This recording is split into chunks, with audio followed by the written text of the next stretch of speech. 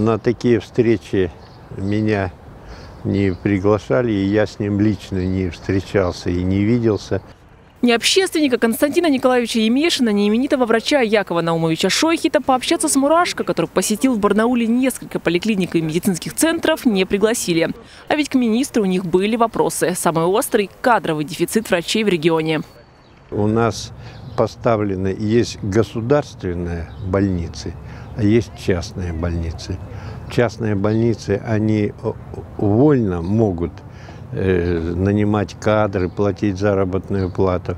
А в государственных это настолько все заформализовано и несправедливо. Врачи э, в Москве получают 120 тысяч заработную плату. Наши врачи все время жалуются о том, что нет этого.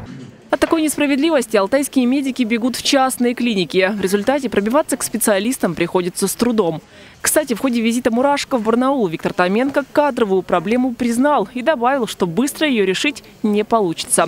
Но работа в этом направлении ведется. Постоянное увеличение числа бюджетных мест, постоянное повышение качества преподавания. Реализуются у нас федеральные инициативы, земский доктор, сельский фельдшер и так далее. Это тоже в какой-то части помогает сегодня решать э, вопросы. Федеральный гость впервые в Барнауле. Мурашко прилетел прежде всего проверить реализацию нацпроектов. Посетил строящуюся 14-ю поликлинику. Министр предложил развернуть здесь еще и отделение реабилитации. Однако в почти достроенном здании места не оказалось. Наверное, все-таки вряд ли. Почему? Скажу, э, проговорил, что за последнее увеличилось на 5 тысяч. Мы уже сейчас смотрим... Э, население. Да, население. Э, смотрим, что нам нужно будет перераспределять кабинеты, добавлять, в том числе и под узких специалистов, потому что э, население выросло, и под э, участковых терапевтов. Как вы попали да, сюда? У вас сложности были попасть в да, да, поликлинику? Было, конечно. А в чем сложности заключались? Нет, по направлению какие-то возникали? Ну, всяко бывает. Выявить заболевание в поликлинике и сразу же направить на лечение в профильную больницу. Так в идеале должны работать все звенья медицины. Отметил во время визита в Алтайский онкодиспансер министр здравоохранения России Михаил Мурашко. Это высшее мастерство врачей всех этапов, и амбулаторно-поликлинического, и стационарного, потому что здесь специализированная помощь, и ждать и продолжать лечение на амбулаторном этапе здесь не нужно категорически. Алтайские политологи отметили, что визит высоких чиновников регионы не случайен. Цель – получить финансирование на модернизацию того или иного звена. В данном случае здравоохранения. Все равно у нас Э, стоит задача тут э, и с э, модернизацией больниц, да, и с строительством новых поликлиник. И вот без попадания в федеральные программы мы сами по себе бы не решили эти вещи. Мурашка, с одной стороны, как бы и вник в ситуацию, которая здесь есть в Министерстве здравоохранения Алтайского края, да, и при этом все равно проехал, посмотрел, пообщался, ну вот, вживую, то, что называется, в полях, да. И в любом случае выводы и, и польза Алтайскому краю, несомненно, будет.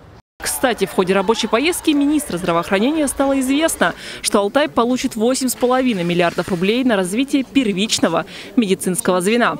Посетил высокий чиновник и образцово-показательную поликлинику номер 9.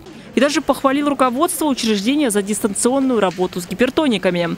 Пациентам с высоким давлением выдают тонометр, а показатели с него автоматически поступают в информационный центр.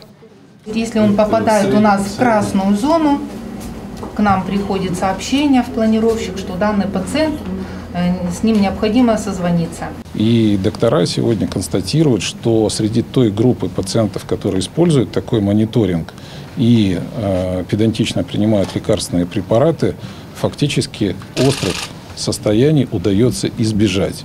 Лечение на высоком уровне, отметил гость во время экскурсии по краевому кардиодиспансеру. Другое дело, когда пациенты сами не принимают препараты. Вот один пациент, и мы его спросили, почему не сделал. Он говорит, наверное, это авось. Когда мы с ним проговорили и следующие шаги, какие он должен сделать, мы его спрашиваем, вам понятно, что вам это нужно сделать, чтобы еще более тяжелого осложнения не наступило? Он ответил, я подумаю. Нам, честно говоря, обидно, потому что мы реально можем э, даже небольшими советами, образом жизни, лекарственной терапией спасти большое количество людей. Не используют жители бесплатные методы профилактики, отметил министр. Например, та же вакцинация против коронавируса могла бы минимизировать осложнения от ковида у сердечников. Пациенты, получившие вакцинацию, э, во-первых, крайне редко болеют, а если и заболевают, то течение заболевания идет э, чаще всего в легкой форме. Как можно спорить с людьми, которые не основываются на данных статистики, на данных медицинских наблюдений?